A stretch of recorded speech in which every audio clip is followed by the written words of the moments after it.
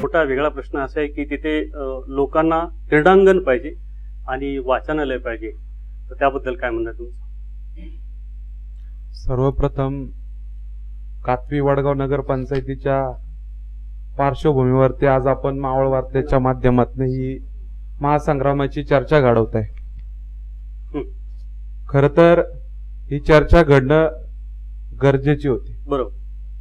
कारण की आता आपण पाहतोय ग्रामपंचायतच्या माध्यमातून गावामध्ये जे विकास कामं हवी होती ती आजपर्यंत झाली नाही. ठीक आहे सत्ता कोणाची होती कोणाची नव्हती ते आम्हाला त्याच्याशी काही मतलब नाही. बरोबर.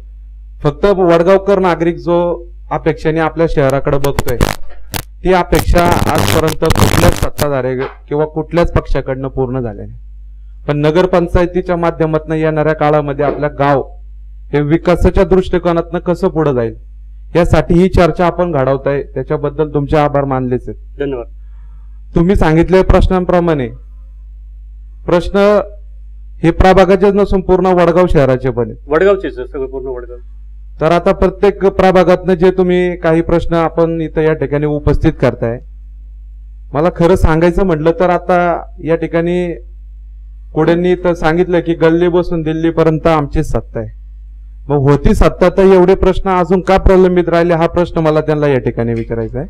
तेच आता बघायचं कोण सोडवतं प्रश्न आणि कोण ठेवतं. हा पुढचा भाग आहे. माळसकर साहेब हा. एक नागरिक आहेत का इथे कोणी आता? बोलणारे आपल्याकडे?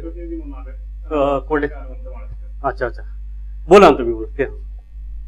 क्रमांक क्रमांक?